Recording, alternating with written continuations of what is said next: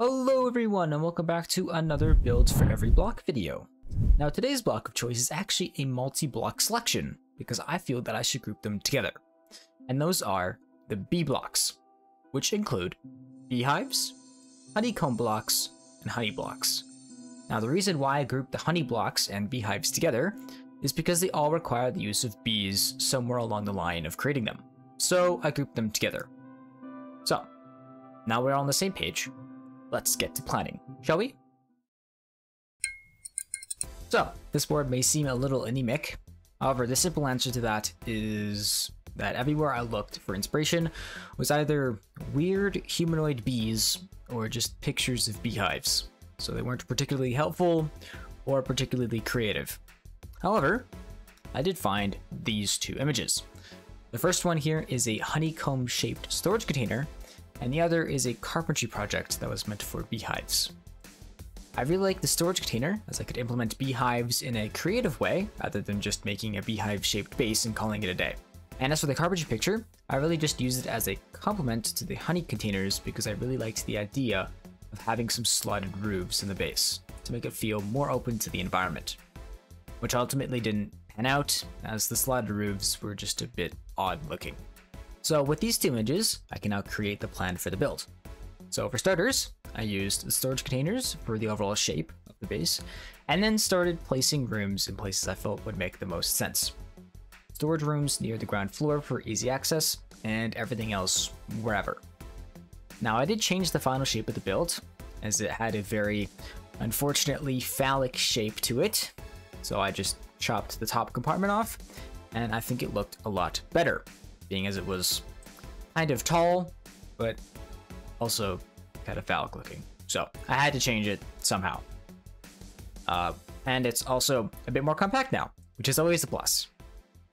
Uh, but yeah, overall, this is a pretty straightforward plan, so I'm not going to go into the nitty gritty here. So, with the plan finished, let's build this thing. All right, fun fact time.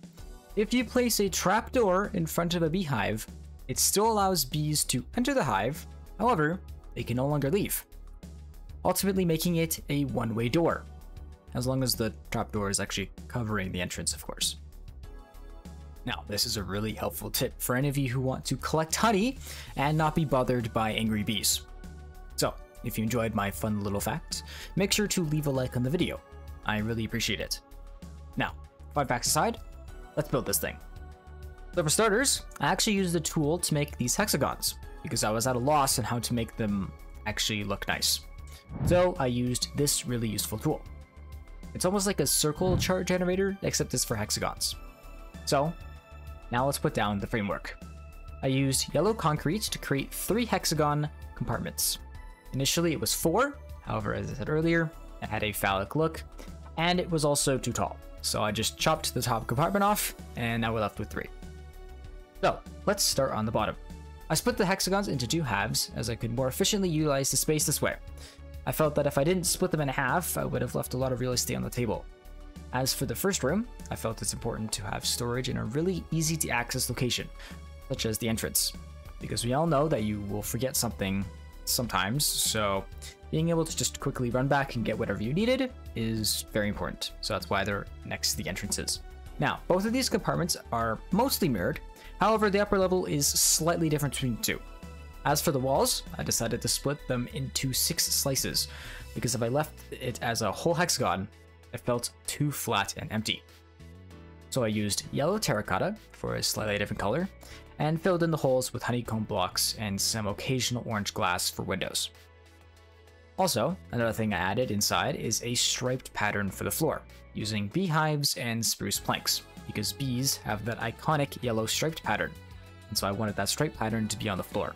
As for the difference between the two side compartments, there really only is one main difference, that being the yellow and brown bed on the right.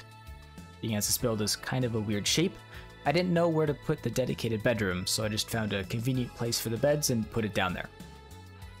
Also, the bridge follows the same striped pattern along the floor, however, instead of beehives, it's just oak planks. Now, uh, you can also just replace all of the beehives with oak planks and you'll have a pretty much the same look, being as they both have very similar textures and colors as well. So if you don't want to farm an excessive amount of honeycomb for this base, which you will already have to do anyways, you can do that route as well. Now for the upper compartment. This is broken up into two sections with the outdoor farm area. The lower part of this upper hexagon is only used to get up to the upper half, as this section is kind of a weird shape, and I needed space to get up to the up area, so I chose not to put anything in here, except for the staircase, of course. As for the upper platform, this is the smelting and farming area. I put two farms on top of both of the lower compartments because I felt this would be a really good use of space here. Something else to note here is the three yellow terracotta strips going along the side of the build. Initially, these were just open air, as I wanted to integrate the slotted design from my references. However, as I said earlier, they kind of looked a bit weird. So instead of that, I put in a window using orange and yellow glass to also achieve stripes. And then I also used yellow terracotta to have a darker yellow stripe going throughout the build as well. I think it's a really nice touch, as this is a bee base, and I think it would be a crime not to include some sort of stripe throughout the base. So I felt that this would be the perfect way to do that. Now for the finishing touches. Firstly, I added some honey globules throughout the honeycomb slices, because this is a bee base, and honey is stored in the honeycombs. So I felt this would be the perfect way to integrate honey into the build. As for the area under the bridge, I felt this could be used as an impromptu honey farm, with some beehives and flowers spread underneath the bridge. This could be a really nice way to kind of also have bees, you know, floating around the base as well. And with those added, everything is finished. Overall, I think this is probably one of my more unorthodox builds. It's definitely different, and not for everyone, that's for sure, since the whole build is very yellow. However, I do think it turned out pretty great. I think it has everything I wanted, but I do feel like the center lower area is a bit lacking, being as it's only staircases. So if there's one area to improve, that would definitely be the area that I would want to improve. But that aside, I'm still happy with how this turned out. So if you enjoyed the build, make sure to leave a like on the video and subscribe for future content like this. But yeah, that's it. See you guys next time.